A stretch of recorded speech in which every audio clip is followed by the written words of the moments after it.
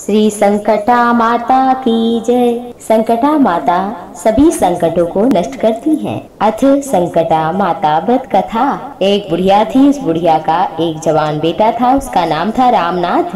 वो जीविका के लिए परदेश चला गया। पुत्र के विदेश जाने के बाद उसकी बूढ़ी माँ बहुत ही चिंतित और दुखी रहा करती थी। उसके पुत्र बधु से बहुत नित्य खरी खोटी बातें सुनाती थी।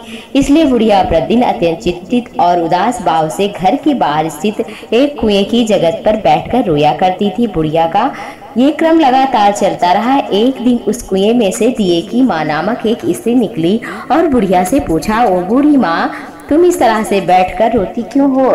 तुम्हें किस बात का दुख है? तुम अपना दुख मुझसे कहो, मैं तुम्हारे दुख को दूर करने का भरसक प्रयत्न करूँगी।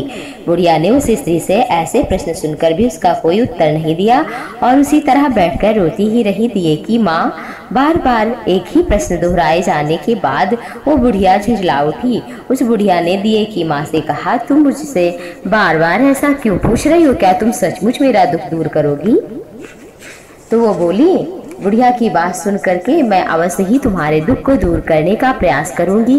बुढ़िया ने दिए की माँ का ऐसा आश्वासन पाकर कहा, मेरा बेटा कमाने के विचार से परदेश चला गया है। उसकी अनुपस्थिति के कारण मेरी बहू हमेशा खरा खरी खोटी हमें सुनाती है और हमें दुख देती है। ये बस यही रोने का कारण है। बुढ़िया की बात सुनकर दिए की माँ ने उससे कहा, यहाँ के वन में संकटा माँ निवास करती है। तुम अपना दुख उन्हें सुनाकर कष्ट से छुटकारा पाने के लिए विनती करो। वो बहुत ही कृपालु, दयालु हैं। उन्हें दुखियों से बहुत अधिक सहानुभूति है। वे निसंतान को संतान, निर्धनों को धन, निर्बल को बल, अभाग को भाग्य प्रदान करती हैं। उनकी कृपा से सौभाग्यवती स्त्रियों का सौभाग्य अचल हो जाता है कुमारी कन्या को अपना वर मन पसंद मिल जाता है। रोगी का रोग मुक्त हो जाता है। इसके अतिरिक्त जो भी मनोवांछा कामना होती है, वो सभी माँ पूर्ण कर देती है। इसमें तनिक भी संदेह नहीं है। दिए की माँ से ऐसी विलक्षण बात सुनकर बुढ़िया संकटा जी के पास गई और उनके चरणों में गिर पड़ी। साष्टांग दंडवत करके बिलाप करने लगी। संकटा माँ ने दया भाव से बुढ़िया से पूछा, बुढ़िया, तुम किस कारण से रो रही हो? बुढ़िया ने कहा, माँ आप तो सब कुछ जानने वाली हैं। आपसे क्या कुछ छिपा है? आप मेरे दुख को दूर करें। मैं अपनी करुणा गाथा अब किसे सुनाऊं? आप ही तो हैं। बुढ़िया की बात सुनकर संकटा माँ ने कहा, तुम पहले दुख तो बताओ, दुखियों का दुख दूर करना ही मेरा काम है। संकटा जी के ऐसा कहने पर बुढ़िया ने कहा, मेरा लड़का परदेश चला गया है।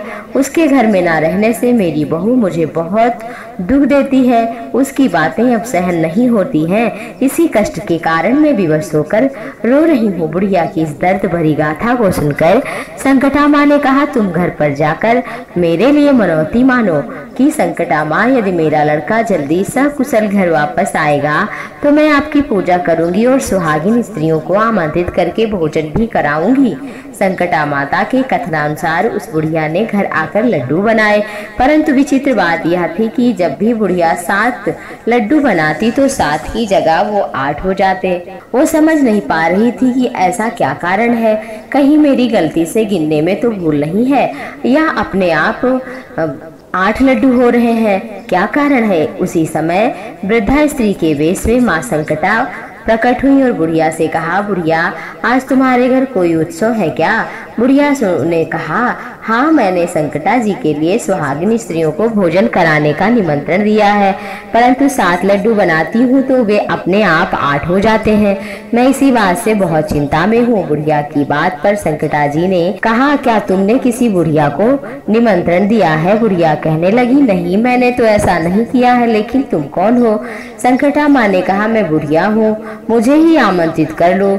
ऐसा सुनकर बुढ़िया ने उस संकटा रूपधारी बुढ़िया को भोजन के लिए आमंत्रित किया। इसके बाद बुढ़िया के घर पर सभी आमंत्रित सुहागने आ गईं और बुढ़िया ने सबको लड्डू तथा अन्य मिठाई भोजन कराया। इसके बाद संकटा माँ की कृपा से उस रमानाथ के मन में अपनी माता पत्नी से मिलने की इच्छा बहुत ही ज़्यादा प्रबल हो गई। सुहागिनों को भोजन कराते ही उस बुढ़िया का बेटा परदेश से अपने घर आ गया। लड़के के आने की सूचना बुढ़िया को दी गई, लेकिन बुढ़िया अपने काम में लगी रही। उसने कहा, लड़के को बैठने दो। मैं सुहागिनों को जिमा कर आती हूँ। लड़के की बहू ने पति आगमन का समाचार पाया तो पति के स्वागत के लिए तुरंत वहाँ से प्रस्थान कर दिया। दिया लड़के ने अपनी बहू को देखकर मन में विचार किया कि मेरी पत्नी को मेरे प्रति कितना प्रेम है। जो खबर पाते ही मुझसे मिलने के लिए चली आई, लेकिन मेरी माता का जरा भी प्रेम नहीं है।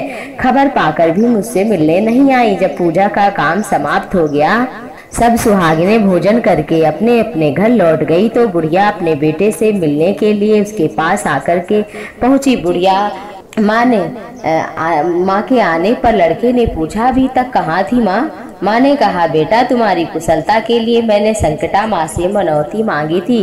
उसी को पूरा कराने, करने के लिए सुहागिनों को भोजन करा रही थी। संकटा माता की कृपा से लड़के के मन में अपनी पत्नी से प्रेम ही हट गया। उसने माँ से कहा, या तो अब घर पे मैं रहूँगा या ये पत्नी रहेगी। बुढ़िया ने कहा, बेटा, तुम्हें तो बड़ी तपस्या, कठिनता से मैंने पाया है, इसलिए तुम्हें मैं कैसे छोड़ सकती हूँ? तुम्हारे लिए बहू का त्याग करना पड़े तो मैं कर सकती हूँ। फिर लड़के ने अपनी स्त्री को घर से निकाल दिया। बहू घर से निकलकर बाहर आई, बड़ी दुखी मन से पीपल के पेड़ के नीचे बैठ गई, रोने लगी। उसी समय एक राजा उधर से जा रहा था। उस स्त्री को रोते हुए देखकर राजा ने पूछा, देवी, क्यों रो रही उसने अपनी सारी बात राजा को बताई। राजा ने कहा, आज से तुम मेरी धर्म बहन हो। इसलिए तुम रो मत और पेड़ से नीचे उतर आओ। मैं तुम्हारे सभी संकटों को दूर करने का यथासंभव प्रयत्न करूँगा। राजा के मुख से ऐसी बातें सुनकर वो स्त्री पेड़ के नीचे उतर आई और राजा के साथ साथ उसके, उसको महल ले गई। घर जाकर राजा ने अपनी रानी से सारा वृत्तांत के सुनाया और रानी को संबोधित करते हुए कहा, देखो, ये आज से मेरी धर्म बहन है। इसको किसी प्रकार का कष्ट नहीं होना चाहिए। राजा के यहाँ पहुंचकर फिर रमानाथ की स्त्री ने संकटा माता के निमित्त सुहागिनों को बुलाकर भोजन कराया। लड्डू बांधकर रानी को भी न्योता दिया। जब सभी सुहागने लड्डू खाने लगी तो रानी ने कहा, मुझे तो रबड़ी, मलाई, स्वादिष्ट मिष्ठान भी हजम नहीं होते, फिर ये पत्थर सरीखे लड्डू कैसे हजम होंगे? ऐसी अवहेलना पूर्वक बातें कहकर रानी ने लड्डू खाने से इनकार कर दिया। संकटा माता की कृपा से सुहागिनों को भोजन करते ही उस स्त्री का पति अपने घर से उसको लेने के लिए आ गया। यहाँ आकर अपनी पत्नी को माता संकटा की पूजा करते हुए देखा। संकटा माता को हाथ जोड़कर उसने अपनी पत्नी से कहा, प्रियतमा, मेरे अपराधों को क्षमा करो। पत्नी ने कहा, हे नाथ, ये सब तो प्रारब्ध भाग्य से हुआ है। इसमें किसी का कोई दोष नहीं। आप तो मेरे ईश्वर हैं। मेरे अपराधों को क्षमा करो। यूँ कह करके उन दोनों ने मिलकर माँ की सविधि पूर्वक पूजा की। पूजा की समाप्ति होने पर वे दोनों स्त्री पुरुष प्रसाद खा पीकर अपने अपने घर जाने के लिए वहाँ से सब लोग तत्पर हुए जाते समय बहू ने रानी से कहा मुझको जब दुख पड़ा तो अपने धर्म भाई के साथ तुम्हारे घर आई और यदि आपको कभी कष्ट हो तो, तो बिना संकोच के हमारे घर आना। ऐसा कहकर बहू अपने पति के साथ राजा के महल से विदा हो गई। संकटा माँ का निरादर करने के कारण रानी पर संकटा माँ का प्रकोप हुआ, बहू के जाने के बाद ही उसका सारा राज्य नष्ट भ्रष्ट हो गया। ऐसी विपत्ति में पड़कर रानी ने राजा से कहा, न मालूम तुम्हारी धर बहन कैसी स्त्री है कि उसके यहाँ से जाते ही यहाँ सब कुछ नष्ट भ्रष्ट हो गया। रानी ने राजा से कहा, वह जाते समय कह गई थी कि मेरे ऊपर कोई संकट पड़े तो मैं तुम्हारे यहाँ आई। और कदाचित तुम्हारे ऊपर कभी कोई विपत्ति संकट आए तो तुम मेरे घर चली आना, इसमें संकोच ना करना। इसलिए हम लोगों को अब उसके यहाँ ही चलना चाहिए। ऐसा निश्चय करके राजा रानी दोनों ही अपनी धर्म बहन के घर गए। वहाँ जाकर रानी ने कहा, बहन, तुम्हारे यहाँ ऐसा क्या कर दिया कि तुम्हारे आते ही हमारी सारी संपत्ति नष्ट हो गई? हम लोग बहुत परेशान है। रानी की ऐसी दर्द भरी बात सुनकर उसने कहा, बहन, मैं तो कुछ नहीं जानती मेरी करता धरता तो संकटा माँ है। उनके अतिरिक्त कौन है?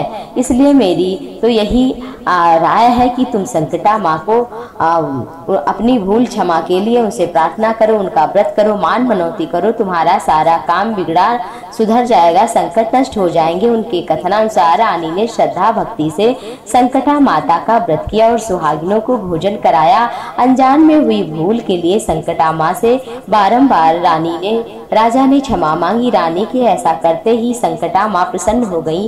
रात में रानी को सपनों में कहा कि तुम दोनों कल सुबह अपने घर को जाओ।